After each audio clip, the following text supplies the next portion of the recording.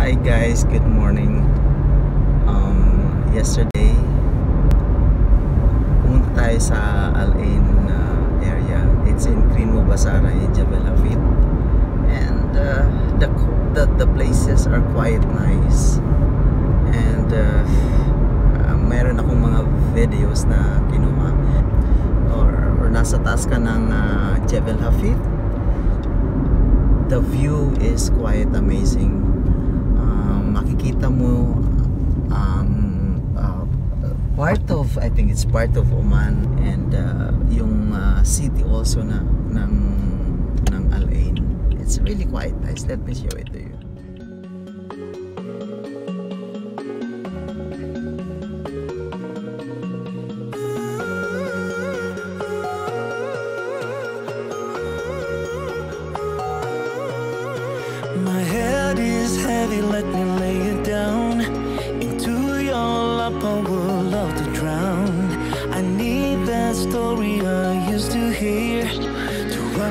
running to and disappear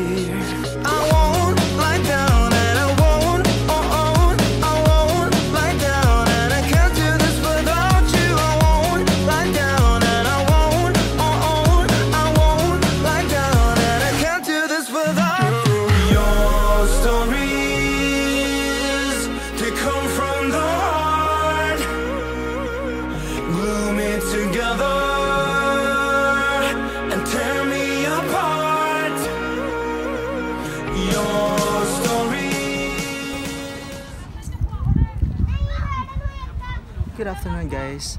Um, nandito tayo sa Al Ain area. Um, ito yung Mubasa, Green Mubasara na tinatawag nila. And uh, yeah, ang daming tao din dito ngayon. Today is Friday. Ang daming mga family na nagpipicnic din. And um, yeah. And if you can see guys the the area it's quite cool. Maraming um, mga halaman mga puno and mahangin siya dito.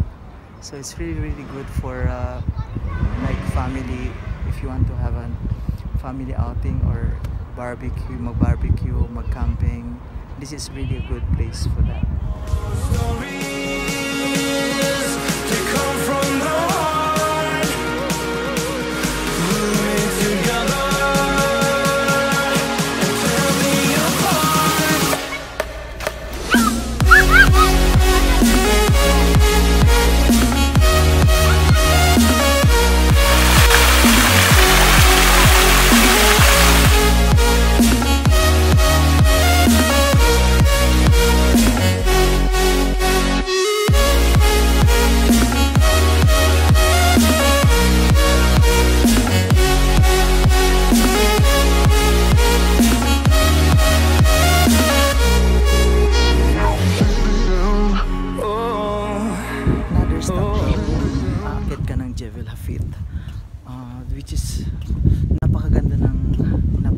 napakaganda ng, ng lugar.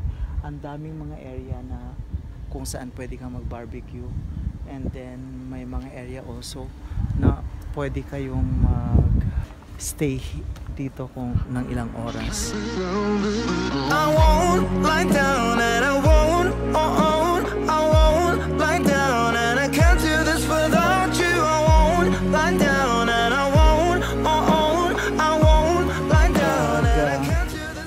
nandito kayo sa UAE um, dapat mag try yung bisitahin to Jebel Hafid and Mo, Green Mubasara kasi napakaganda niya. Down and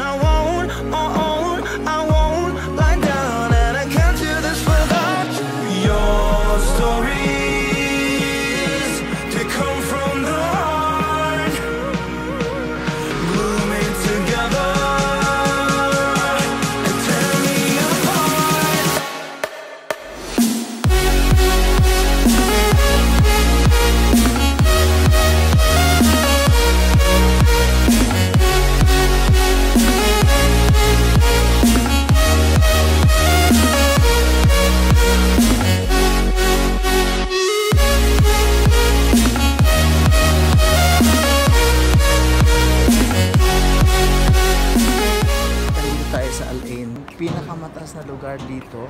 Maganda ang lugar, although mainit nga lang. Pero marami rin tao nandito na.